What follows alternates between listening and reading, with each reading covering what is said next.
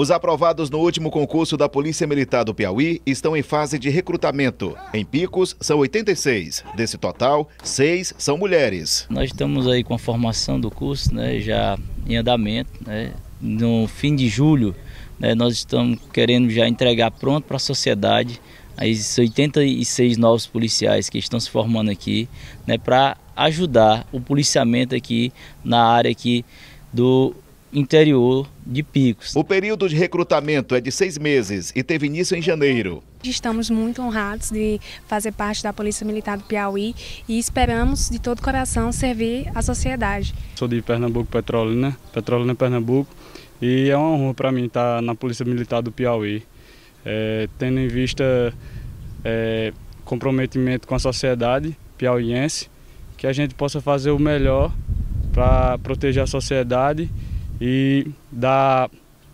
é, esse estado de segurança, de, de tranquilidade para a população.